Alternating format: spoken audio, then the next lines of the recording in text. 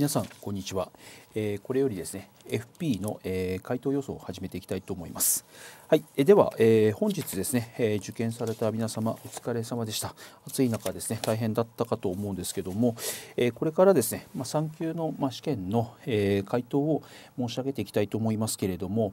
あの、まあ、この後、え夕方の5時半になると実施団体からですね、まあ、回答が出るので、まあ、そちらを、え確認いただきたいと思うんですけども、まあ、一足先にですねこちらレックの方で今回の学科試験と、え実技試験の中の資産設計提案業務と、え個人資産相談業務、まあ、こちらについては、え回答を申し上げていきたいと思いますので、まあ、そちら、えまあ、参考にしつつ、ま、必ずですね実施団体の、え回答で、え確認いただくということでお願いしたいと思います。順番としては、えー、学科試験を先に、えー、共通の、えー、ものをやってから次に日本 FP 協会が実施した資産設計提案業務、え、さらにその後に、え、金融財政事情研究会が実施した個人資産相談業務、まあ、こちらを、え、まず回答から申し上げていって最後に、まあ、簡単なですね、まあ、解説できるところについては解説していきたいなというふうに思いますその流れで、えー、今日進めさせていただきます。はい、ではまず、えー、学科試験、えー、からいきたいと思うのでちょっとこちらの問題をですね皆様ご用意いただいてえこれから回答を申し上げていきたいと思います。で学科試験につきましては60問あって1問1点で、えー、36点36問以上で合格ということになりますが前半30問が、えー、正誤問題丸×とで後半の30問が、えー、三子択一ということになってますが、あのー、第1問の正誤に関しては、えー、まあ、正しいとマーク1、えー、間違っている時はマーク2なんですけどもちょっと分かりづらいので丸×という形で申し上げていって、まあ、三子択一については、えー、123いずれかを申し上げるような形でやっていきたいと思います。はい、では先に第1問の、えー、ライフの1から5まで、えー、見ていきます。えー、カッコ1が丸、カッコ2が×、カッコ3が丸、カッコ4が丸、カッコ5が×、えー、ちょっと一旦区切ります。えー、カッコ1から丸、×、丸、丸、×。続いて、えー、リスクの、えー、カッコ6からカッコ10に移ります。カッコ6が丸、カッコ7が×、カッコ8が×カッコ9が×、えー、カッコ10が丸。もう一度6から10、えー、繰り返しますと丸×××丸となります。続いて11から15の金融に移ります。カッコ11が丸。カッコ12が丸。カッコ13が×カッコ14が丸。カッコ15が×もう一度繰り返します。11から15ですが丸丸×丸×となります続きまして16から20のタックスです16が×、17が丸、18が×、19が×、20が丸、もう一度16から20ですが、えー、×、丸、×、×、丸。続いて、えー、不動産の21から25に移ります。えー、カッコ21が×、カッコ22が丸、カッコ23が丸、カッコ24が×、カッコ25が×、えー、では21から25繰り返しますと、えー、×、丸、丸、×、×となります。次26から30の相続に移ります。26が丸、27が丸、28が×、29が×、30が×、えー、もう一度繰り返しますと26から30ですが丸丸×××これで第1問の正誤が終わりました。続いて第2問の三子択一に移ります。こちらも同じく科目ごとに申し上げていくので最初ライフの31から35に行きたいと思います、えー、31が132が233が334が3、えー、35が1です。もう一度、えー、31から35ですが12331です。次36から40のリスクです。36が3 37が238が239が140が3、えー、もう一度36から40ですが3、2、2、1、3続いて41から45の金融です。41が2 42が143が344が3 45が3、えー、繰り返します。41から45ですが21333となります。次46から50のタックスです。46が347が248が149が1、50が1、もう一度46から、50ですが32111となります。次51から55の不動産です。51が2 52が1 53が1 54が3 55が2、えー、もう一度51から55番ですが21132となります。最後の科目56から60の相続です。56が3、57が2、58が1、59が2、60が1、繰り返します。56から60ですが、32121です。え以上で、え学科試験の、え回答ですが終わりましてちょっと一旦次の科目いきたいと思うんで、え全体が終わったらまたですね戻って簡単な解説をさせていただこうと思います。では次がですね日本 FP 協会が実施しました、えー、資産設計提案業務こちらの回答を申し上げていきたいと思いますので、えー、じゃあこちらですねやっていきたいと思いますちょっとお待ちください。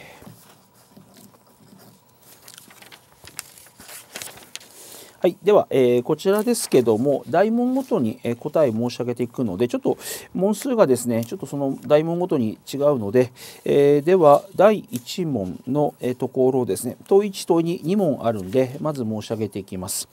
問問1が1問2が、え、3、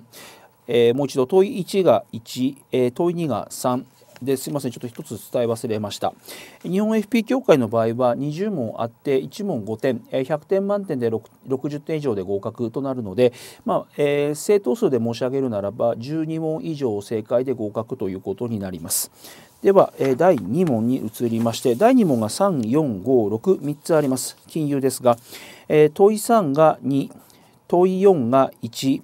問い5が3問い6が2え、もう一度繰り返します。問い3が2、問い4が1、問い5が3、問い6が2です。続きまして第3問の不動産です。えー、問い7が2、問い8が1、えー、もう一度問い7が2、えー、問い8が1です。続きまして、え、第4問の、え、これはリスクですね。9と10です。問い9が1問い10が3もう一度繰り返します。問い9が1問い10が3です。続きまして第5問のタックス2問あります。問い11が2問い12が1もう一度。問い11が2問い12が1、えー、と2と1ですね。続きまして第6問の相続です。問い13が2え問い14が2どちらも2ですね。13、14ともに2となります。続いて、え最後総合問題の第7問。15から20まであります。まず15が3 16が1 17が3 18が3 19が3、えー、20が、えー、っと2です。もう一度いきます。15が3 16が1 17が3、18が3、19が3、20が2となります。ということで、これで資産設計提案業務終わりなんですけれども、1問5点ということになるので、まあ、これで、え、単純に12問以上ですね正解があれば合格ということで後で解説についてはまた後で、え、やりますので一旦ちょっとこれで、え、資産設計提案業務終わりとさせていただきます。では次がですね、金融財政事情研究会の個人資産相談業務に移りたいと思います。でこちらなんですけども、えー、大問が1から5まであって1つの大問ごとに10点の配点がありますただし、えー、10点の配点があるんですが全ての大問は3つの、えー、小問から構成されていて必ず1つの問題は4点となりますで4点というふうになるんですけどもこれに関しては、まあ、ここで言ってもですね後であともう1時間弱もすれば配点がしっかり出てますので、まあ、そちらで確認いただければというふうに思いますので、まあ、そちらで確認いただければ良いので、えー、ここでは配点は申し上げませんので、えー、まあ配点ですね。確認してもらえればと思います。まあ、単純にですね、え3点の箇所であれば10問以上で合格で4点の、え箇所もあると思うので、まあえー、必ず10問以上取れればですね、えー、合格になるんですが、まあ、9問の場合合格することもあれば、えー、不合格の可能性もありますので ちょっとそこ注意いただければと思います。では、え第1問のライフから見ていきます。え答ええー3問ありますが問い1が3問い2が1、えー、問い、えー、ごめんなさいもう一度。問い1が3、えー、問い2が1問い3が3もう一度、えー、問い1が3、えー、問い2が1問い3が3となります。続いて第2問の金融に移ります、えー、問い4が2問い5が1問い6が1、えー、もう一度、えー、問い4が2問い5が1問い6が1です。続きまして第3問なんですが、えー、タックスです。問い8から問い、えー、10まで。問い8が2問い9が3あ失礼しました。7から9です。問い7が1、えー、問い8が2、えー、問い9が3、えー、もう一度。問い7が1問い8が2、えー、問い9が3です。続きまして、えー、問い第4問です、えー、10から12です、えー、問い10が2問い11が2、えー、問い12が2、えー、ですから今回の不動産はすべて2ですね。10から12まですべて正解は2となります。続きまして第5問の相続です。13から15までありますが、えー、13が、えー、3問い14が1問い15が3もう一度です。問い13が3問い14が1問い15が3ということで、えー、基本、え、1問3点小問3点なんですがあの各大問ごとに1つ4点があるので、まあ、ちょっとこちらに関しては必ず、えー、金材が公表する配点でですね答え合わせをしていただければというふうに思います。はい、では一旦これで回答の方は終わりましてあと残り30分ほどあるんで、えー、10分ぐらいずつですね、まあ、簡単な解説とか公表などをしていきたいと思うのででは最初にですね、えー、学科試験からですね、えー、見ていきたいと思います。で学科試験に関しては前半、えが、えー、正誤問題丸×問題で後半がですね三子択一ということで、まあ、ちょっとこちら先ほどですねざっと目を通したんですけども、まあ、ちょっと難しいなという印象を受けました。で例えばなんですが、まあ、ライフからいきますと、まあ、括弧1から括弧5まであるんですが、まあ、ただ例えば括弧5であれば、まあ、日本学生支援機構が取り扱う奨学金ですが1種、えー、と2種という2つがあるといった時にどちらかが無利息でどちらかが有利息ということがあるんですが、まあ、これは、えー、皆さん講義聞かれている方とかであれば必ずですねこちらについては無利息が第1種という話を聞いていると思うんで、まあ、今回の選択肢は逆だということが分かればいいので、まあ、こちらについては確実にですね、まあ、正解を取っていただきたいところかなというふうに思います。で次の括弧6から括弧10のリスクですけども例えば括弧6これは正直多分テキスト3級では載っていないんじゃないかなと、えー、こちらには、えー、保険法の規定で保険法の規定の中で解除権についてですね1ヶ月、えまたは契約の時から5年というところですがこれおそらくテキストには載っていないと思うので、まあ、今回はできなくても仕方がないなというふうに思いますのであのできなくても気にしないでください。また、括弧8のですね、養老保険の話なんですが、まあ、これ2級に行くとですね、まあ、有名な話でハーフタックスプランという、え、この表現を使ってですね、説明をすることがあるんですが、ハーフタックスプランにつきましては基本養老保険というのは資産性があるので、え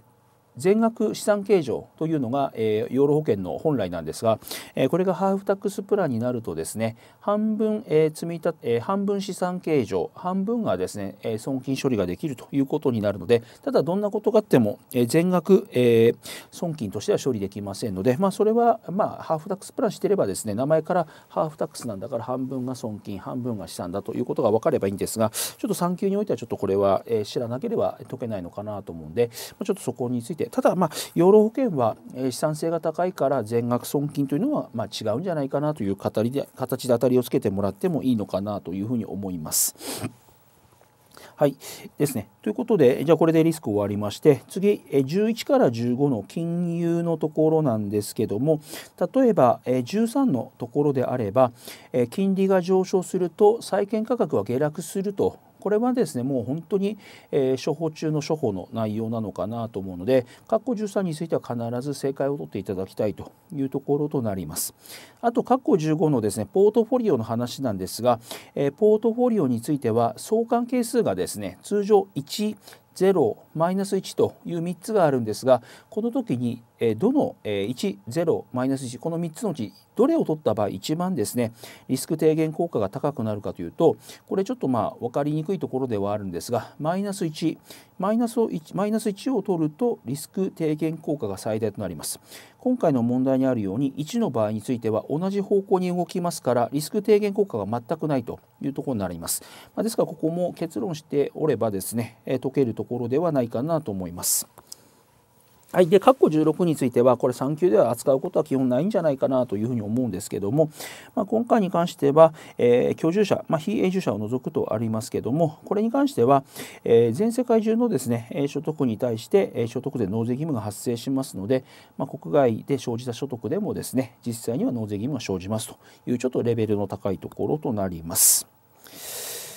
はい、あとは20についてはもうこれはもう3級においてはまあ当然知っておかなければいけないところなんですが、えー、配偶者控除、まあ、合わせて配偶者特別控除も理解いただきたいんですが、えー、この2つ、えどちらもですね、えー、本人の、え本人という納税者ですがこちらの合計所得金額が1000万超えてしまうとですね、え適用が受けられないというふうな形で変わっておりますので、まあ、こちらについては、えまあ、試験対策しっかりしている方であれば、え難なく取れるところではないかなというふうに思います。続いて21から25の不動産のところですが、まあ、ちょっと今回細かいなと思ったところはですね例えば括弧22番の事業予定希釈地権等の設定の契約については公正証書によって締結とありますが、まあ、通常こちらについてはトラブルがないようにですね公正証書ということですがちょっとこれも細かい話かなというふうに思いますし括弧23番のところをちょっと読ませていただくと建築基準法の規定によれば住宅は工業地域内及び準工業地域内においても建設する建築することができるとなっています。で住宅についてはこれ知っておいていただきたいのは工業専用地域では建てられないけどそれ以外では建てられると、ま、いうことが分かっていれば、えこれはま知っておいてもいいと思うのでこれ分かっていればすぐに丸というのが分かるのであの工業専用地域だけはダメだというふうな形で考えていただければと思います。次26から30の相続なんですけれども例えば30番のところで、えー、相続財産の評価においてですね保険事故が発生していない生命保険に関する権利の価格というのは今回気払い、えー、気払いの保険料相当額あるいは責任準備金という形で出てくる可能性もあるんですがこれについてはもう結論だけでいいんですが、えー、辞めた時に戻ってくる解約返礼金によって評価を行いますですから、えー、気払いの保険料ではありませんので、まあ、そこ注意いただければというふうに思います。続いて第2問のところ三子択一なんですが、えー、じゃあこちらも同じく科目ごとに見ていきます。まず括弧31これについてはですね、えー、健康保険の任意継続費用権者についてはこれ必ず2が絡むと20日、えー、2年20日、え、2ヶ月2年というとこですね。なので今回に関してはそこの2が絡むので、え、ですからそこだけでまず3番の、え、最初1年というのがあるんで、まあ、これ外せます。さらに2番も、え、丸2が14日となっていますのでこれも外せます。となると2が絡むということを知っておる知っているだけですぐに1番というのが選べますのであの任意継続費用賢者は3級だけではなくても2級でもよく出てくるのでこの内容をしっかり掴んでおればすぐに解けますので是非2が絡むというのを頭に入れてもらえればと思います。はい、あとは34のフラットなんですけどもこちらについてちょこれも細かいなと思ったのはですねフラットの場合融資と最高限度額8000万なんですがこちらについては、えー購入価格の話なので融資金額じゃないので、えー、融資金額8000万で、えー、購入価格の上限1億というふうになってますんでちょっと引っかかり、えー、引っかかってしまうところかもしれません。また35番のですね、えこちらは貸金業法の総量規制なんですけども、えこれについては年収で判断していきますんで、まあ、例えば年収が600万の方であれば200万円以内ということで、まあ、可処分所得についてはですねこれ人によって変わってきますので何とも言えないので、まあ、年収というこのき、えー、基準を使ってですね、えー、決まっているというふうに考えていただければと思います。また36から40の、えこちらのリスクのところですが例えば36のところもですね、まあ、媒介とか代理とかいうのがありますがちょっとこれも細かいなというところだったり37番の転換についてもですねこれは結局告知または審査が必要か不要かどうかというところですね、えー、知ってるかどうか、まあ、あとは、まあ、そういいでしょうかねというふうな形なのでちょっと今回リスクについても細かいなというふうに思います。で、えー、続いて41から45の金融なんですけれども、まあ、金融につきましては、例えば44番のところ、まあ、今回は外貨預金の払い戻しにおいて、まあ、自分が持っている外貨を円価に変えるという話なんですけども、まこの場合の考え方は、え円価に変えるということは、今持っている外貨を売ってて円を買うわけです。ですから円を買うと考えてもらうと、まあ、ここに書いてある S はセルの S、B はバイ、買うの、え、B となりますんで、3番の TTB を選んでもらえればなというふうに思うんで、まあ、この場合円を売るから TTB を使うんだというふうに考えていただければと思います。続いて46から50の、え、タックスのところなんですけれども、まあ、ここにおいてはですね特段あの難しいと思うところはないので、まあ、ここについては全て、まあ、正解とっていただきたいなというところではあります。で51から55番なんですが例えば51番の仮登記なんですが仮登記で3級でやらない可能性が高いんじゃないかなというところなので、まあ、これはできなくてももう仕方がないということで、まあえー、仮登記は順位保全項というものがあるのみなので、えー、順番はですね、えー、仮登記から本登記に移すとその通りの順番で、えー、順番を保つことができるんですが仮登記のままではですね、えー、所有権の移転を第三者に対抗することはできませんので、まあ、ちょっとこれは3級では難しいところかなというふうに思います。はい、えー、ですかねというところで、まあ、ちょっと54も知ってるか知らない知ってるか知っているか知らないかの話なんですけども、ちょっと若干細かいなという気はします。続きまして56から60の、え相続なんですけれども、まあ、例えば56についてはもうこれは数字として知っておかなければいけないところだと思いますし、まあ、57番もそうですね、まあ、こちらも知っておいていただきたいところ。あと58こちらについて遺留分はちょっともしかしたらやっていないかもしれないので申し上げるとまずはですねえ相対的遺留分というのを求めていくんですけどもその相対的遺留分というのは相続人がですね、え直系存続のみの場合については3分の1それ以外の場合が2分の1となるんで、まあ、今回は、え配偶者と長男長女ということで、え明らかに直系存続以外になってますので1億2000万の半分の6000万が相対的遺留分になります。あとこの6000万を各々の法定相続分で分けていけばいいので、え6000万で今回は配偶者と、えー、子供の長男長女次女となってますので配偶者が6000万の2分の1、えー、残り、えー6000万の半分の3000万を3人で、えー、子ども3人で均等に分けていくので、まあ、ですから6000万かける2分の1かける3分の1でですね1000万ということで1番が正解という形になります。ということでですねちょっと今回の学科試験につきましては一部選択肢によってはすごく細かくて、まあ、できない、えー、箇所もあるかもしれないんですけどもただ6割取れれば合格ということなのであの日頃からしっかり学習されている方にしては 6, 点6割はクリアできると思うんですがちょっと、えー、ややや、えー、難しい選択肢が、え隠れているというのは否定できないかなというところになります。はい、ではちょっと一旦これで学科試験は終わりにしまして次、えー、と日本 FP 協会の資産設計提案業務の方に移りたいと思う思うのでちょっとこちらですね受けた方はこちら来ていただければと思います。で資産設計提案業務なんですが、まあ、いつも通りの、えー、傾向と同じということでですねじゃあちょっと第1問から、えー、問1についてはまこれは、まあ、あの個別具体的なものについてはいけませんので、まあ、1番が正解と。で問い2のところなんですが、えー、キャッシュフロー表の金額の求め方なんですけども、うについてですね、うはあの前年の金融資産が475万あって、これ必ず運用の、えー、その運用分も含めなければいけないので、475万に1.01足したもの、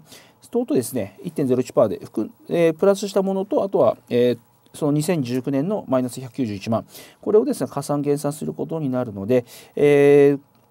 今回3番の選択肢については、え金融資産については運用を加味していないということから間違っているということになります。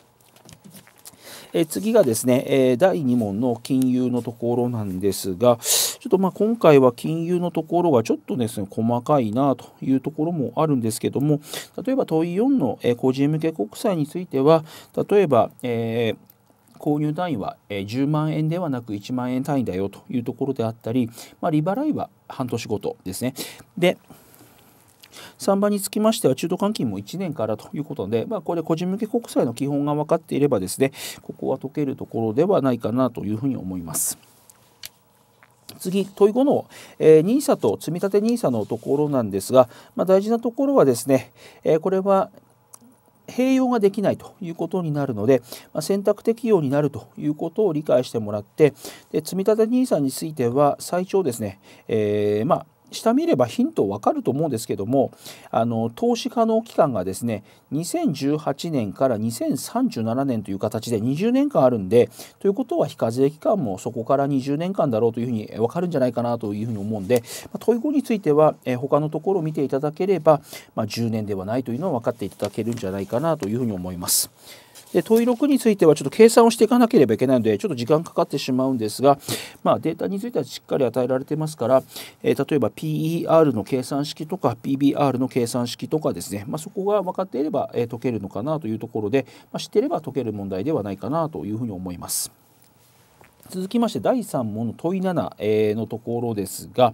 ここについては難しいと思うところとしては今回ですね延べ面積の最高限度ということになっているので容積率を使わなければいけないということになります。で容積率は資料の四角の中にですね指定容積率400%とあるんで、まあ、通常であれば300平米、まあ、今回、えー敷地がですねえ300平米あるね 300×400% で1200としたいところなんですが注意いただきたいのは、えー、延べえー、延べ面積にあたっての容積率については、え、全面道路、まあ、今回6メートル指導に接していますがこちらがですね12メートル未満の場合についてはこの、道路幅かけることの今回、え、ちゃんと指示されていますが法定乗数が10分の6とあるんで道路幅かける法定乗数の10分の6かけた、え、それをやると10分の36つまり360%になるんでこの求めた360%ともともとの指定容積率400%比較してですねいずれか小さいものを、使わなければいけないということになっていくので、まあ、そこが分かっていれば、えー、2番の300平米 ×6 メートル ×10 分の6こちらを選ぶということになるのでちょっとここについてはですね、えー、道路幅を必ず見ておかなければいけないので、まあ、単純に400かけて正しいというわけではありませんので、まあ、そこ注意いただければと思います。それと並んでですねちょ問い8がちょっと細かいなというふうに思うのがですね今回、えー、建築可能な建物の、えー、組み合わせというところがあるんですが、まあ、ここでですね例えば工業地域においては今回建築物の種類が、えー、自動車整備工場と何かというところなんですがこれ3級の中でも知っておいていただきたいのは、えーと、診療所と保育所はどの、えー、地域でも建てることができる。えー、保育所と、えー、診療所。これはどの地域でも建てることができますから。ということは工業地域においては、えー、これ、えどこで、まあ、この選択肢見ると「い」が診療所と病院があるので、まあ、そうすると、まあ、診療所は病院よりも当然な規模が小さいものになっていくので、ま、どこでも建てられる診療所が入ってくるだろうということが分かれば「あ」が分からなくても解けると。ですね。ですから、いから、見てもらって、いが今回は診療所なので、1番が正解というふうな形であればすぐ解けると思うんで、まあ、案についてはちょっと大学は違うんですけども、中学校とか高校であれば、立てることができるということになります。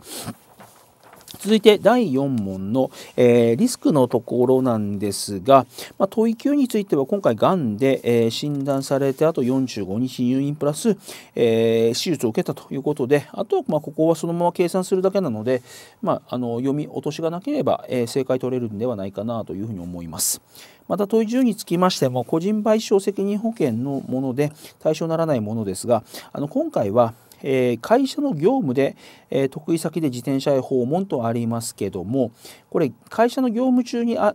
業務中の場合についてはこれはです、仮に自転車であったとしてもこれは、えー、個人賠償責任保険は使えないので、まあ、プライベートな例えば買い物の帰りとかにぶつけてしまった場合であればですね、えこちら使えるんですが会社の業務であれば会社の保険を使っていくということに通常になっていくので、え3番が間違っているというような形になります。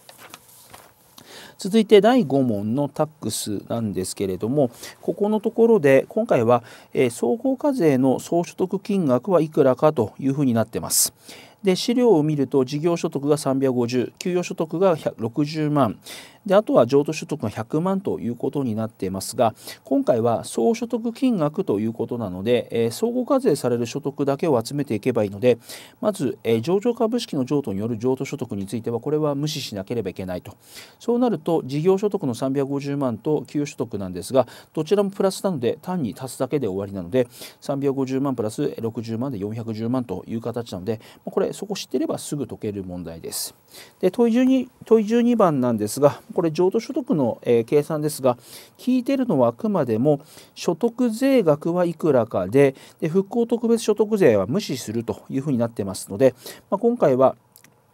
売れた金額から買った時の取得費と譲渡費を足したものを引いて、まあ、そこにあとは今回は、えー、長期譲渡所得、まあ、今回は2018年12月16日に譲渡してますが2018年1月1日現在で5年を超えているのであれば長期、えー、5年以下であれば短期ということですが明らかにこれ長期になるんで、えー、2300万に15%かければいいということなので、まあ、そこの長期の計算の仕組みが分かっていれば解ける問題ではないかなというふうに思います。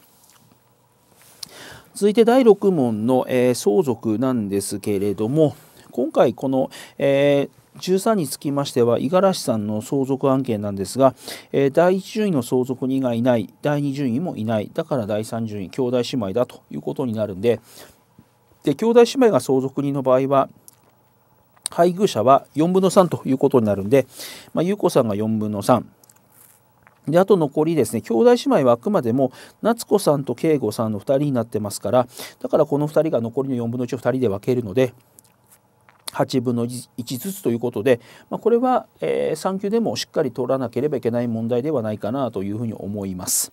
でまた問い14のところですが配偶者控除に関する、えー、贈与税の配偶者控除ですねの質問の、えー、まあ、回答になっていますが、えー、贈与税の配偶者控除については婚姻期間が20年以上。これ必ず暗記。また贈与税の配偶者控除の金額については2000万と、まあ、これは必ず暗記しておかなければいけないところなのでこれ2番は、え、選べるんじゃないかなというふうに思います。続きまして残り総合問題のところですが基本的にまず問い15のバランスシートの純資産額についてはこれはですね、えー、時価。基本的に資産は時価。で負債については残っている、えー、残債例えば住宅ローンが280万となっていますがそれを引くだけなので、えー、まあ保有保有財産の時価は6210万そこから280万の住宅ローンを引いたら、えーと、と5930万となるのでここについては特段難しいものではないと思います。また問い16についても退職所得の計算なんですけども、えー、しっかり計算式もくれて与えてくれているので、まあ、今回38年とすると書いてあるんで、えー、38年の中の18年、まあ、20年を超える18年が70万円かけてあと20年については40万かけるということなので、まあ、それを引いてあとはですね必ず2分の1をかけなければいけないので、まあ、自分だったらどうするかというとこれ今回123を見させてもらった時に退職所得だけがですね必ず最後2分の1をしますだから2分の1入っているのが1番しかないからこれ計算しなくても1番が正解だということが実は分かりますなので退職所得の計算式非常に重要ですからこれはしっかり覚えておいていただきたいというふうに思います。で17番につきましてなんですがこれ実はですね、まあ、のこれもですねもちろん係数の内容を知っておればいいんですけどもちょっとこれ簡単なやり方なんですが今回1900万を2%で運用しながら20年取り崩すとなってます。仮に1900万あった時にですねこれ運用せずに20年間取り崩したらいくら、えー、もらえるかというと運用しなくても95万もらえます。95万。ということはですよ95万もらえるんで今回回答123見てもらうと1番と2番は95万下回ってます。運用して下回るとおかしいわけですよ。だから今回は早見表を使わずにですね、まあ、自分の場合はそれ見た時にまず今回、えーと運用しなくても95万もらえるわけだから95万下回ってる1番2番ありえないだろうということで、まあ、3番で念のため、えー、資本回収係数をかけると116万2800円なんで確かに正しいということが分かるのでそういうふうな形で当たりつけることもできるので、まあ、ぜひそういうふうな形の、えー、まあ、アプローチもしてもらえればなというふうに思います。あとは18についてはですね繰り上げに関しては1月あたり0.5%減額されてそれが一生続くことになりますので、えー、途中からですね戻るわけではありませんから注意してください。というところでしょうかね。えー、ということで資産設計についてはこれで解説を終わりとさせていただきまして、まあ、最後に、えー、個人資産相談業務に移りたいと思いますのでじゃ受け受けられた方ちょもう一度こちらの問題を開けて準備いただきたいと思います。でこれちょっとざっと目を通したんですけども難しいなというふうにちょっと最初の、え直感なんですですが思いました。えー、なので今回だとちょっと合格率がもしかしたら低くなるかもしれないなというふうに思いますのでじゃあ、えー、第1問のリスクからなんですが、まあ、今回、まあ、ちょっと問いについて見ていきたいと思いますが今回問いに老齢基礎年金の年金額の計算式とあって、まあ、金額についてはま特にいいんですがここですねあくまで老齢基礎年金というのは満額受けられる時は480月えー、全て払った場合ですねなります。で今回は65歳まで厚生年金保険に加入していますがあくまでも20歳から60歳までの480月。これがですね厚生年、えー、老齢基礎年金の、えー、支給の基礎になりますから、まあ、だから今回は、えーと、22歳まで国民年金に31ヶ月未加入があったので、えー、これをですね40年、まあ、つまり480月から31月引いたものが今回もらえる、えー、老齢基礎年金となるので、まあ、1番選んでいただきたいというふうになるんで、まあ、2番みたいな形でですね、まあ、65歳まで入っていたとしてももらえるのはあくまでも40年分ということになるので、まあ、ちょっと40年分といっても、えー、22歳の入った時から、えー、60歳までのところになるんでちょっとここ気をつけていただきたいなというところになります。続いて、えー、第2問の金融です。で金融もですねちょっと見たところなんかいろいろ書いてあってですね、難しいなとちょっと思ったんですがただ、えー問い4見ていただくと、えー、今回ドル建ての定期預金の、えー、まあ、説明なんですけども適切なものどれかとあります。でこの時にですね、まあ、2番見ていただきたいんですが、まあ、X 銀行に預けられた外貨預金、まあ、外貨預金は預金保険制度の対保護の対象か否かというのをこれ知っておかなければいけないので、まあ、外貨預金については預金保険制度の対象ではないです。ですから、えー、ということで、えー、今回は2番これ1番と3番ちょっと読んでると難しいんですけども2番さえ分かれば解けるので別に1番2番無視してもらってもいいかなというふうに思います。で問い5はちょっと、えー、できるようになっていただいてで問い6についてなんですが、え、今回も先ほどですねありましたように、えー今回外貨預金なんですがこれ結局満期時に円価で受け取るとなってます。ということは今持っているドルを売って円を買うわけですから、まあ、つまり円を買うのでレートは TTB 満期時の TTB である111円を使っていけばいいのでで今回税金は無視しますので5万 ×0.5% の250ドルと5万ドル足したものに対して111円をかければいいということで、まあ、あの計算自体は難しくないんですけれども適用するレートですね TTB を使うということが分かるかどうかというのが今回の問題の分かれ目ではないかなというふうに思います。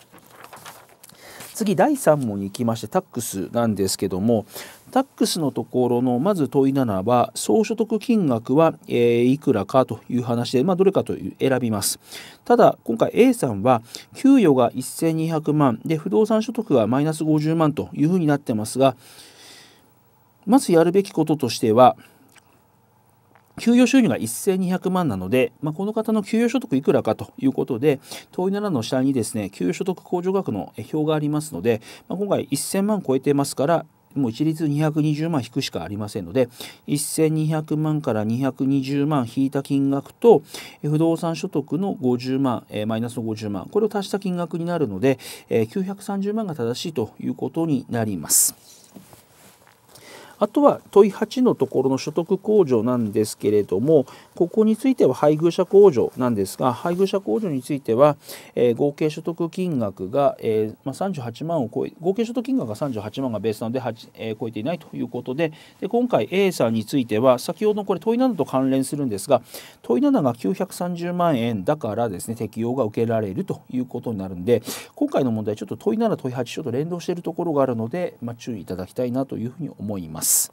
で問い9については医療費控除なんですけども、まあ、これは、えー、公共機関を使ったですね、えー、こちらの交通費については医療費控除の対象となりますのでタクシーはダメですが、えー、基本的には対象になるということを知っておれば解けるんじゃないかなというところになります。続いて第4問の不動産です。で不動産ですけどこれちょっと難しいなというところがまず問い10番のですねこちら憲兵率の上限と容積率の上限ということなんですがまず憲兵率についてですが憲兵率は最高でも100%なんですけども、えー、今回は指定憲兵率が80%ですね80%でここで80%の時には緩和については、まあ、2つあるんですがただ2つあるんですけどもそのうちの1つ防火地域内に耐火建築物を建てる時にはこれは角地云々に関係なくいきなり100%ということになるんで、まあ、今回じゃあこの高土地はというとえー、っとですね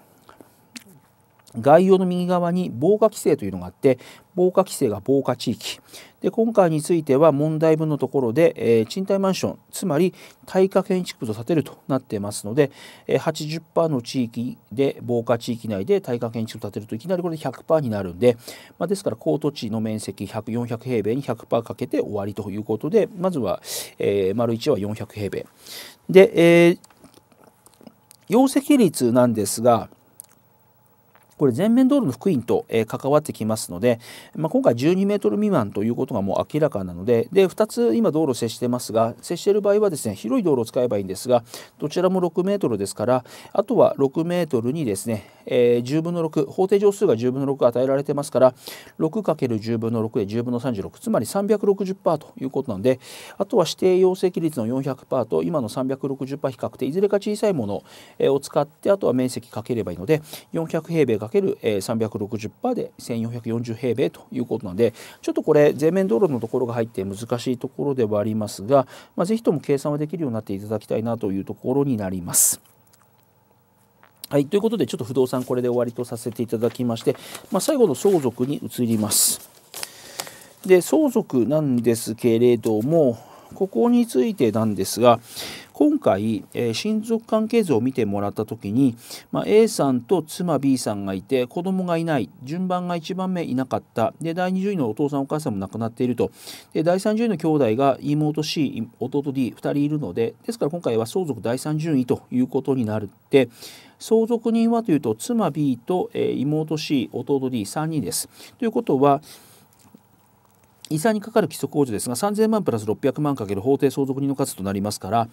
えー、3000万プラス600万かける3人なので4800万とですから4800万分かればこれだけで3番が正解ということが分かるので、まあ、今回基礎控除のところで、まあ、攻めていくのがいいんじゃないかなというふうに思います。で次問い14のところですがこれちょっと正直3級では難しいと思います。で答え用意されているんですが、まあ、2級でも、まあ、今回たまたま先ほども2級の問題見てきたんですけども同じような問題が出てますが2級の場合は計算過程が分かるようになってます。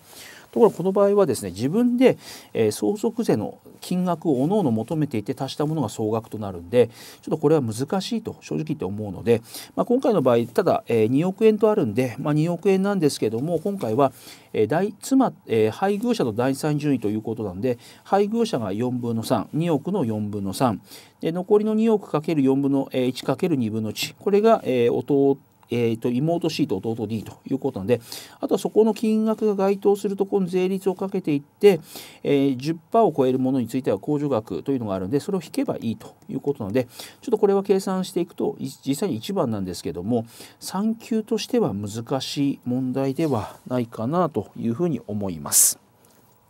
はいということでですね、えー、これで、えー、個人資産、え、相談業務の解説終わりにさせていただきますが、まあ、全体として言えることは、まあ、学科については選択肢がやや難しいものもあってテキストに載ってないようなモデルも出ていると。で、えー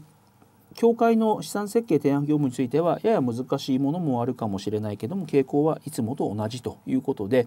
日頃からしっかり学習されている方であれば、えー、合格はできると思います。ただしえー、個人資産相談業務、えー、こちらについては非常に難しい問題が出ているので、まあ、合格率が下がるんじゃないかなというふうに思いますので、まあ、ちょっとここのところは、えーまあ、今回の問題は難しいかなということが言えるということでですね、えまあ、ぜひとももう一度、え、復習していただければなというふうに思います。ではあの時間になりましたので、えー、これで3級の、えー、回答についてはこれで終わりとさせていただきます。今日受けられた方お疲れ様でした。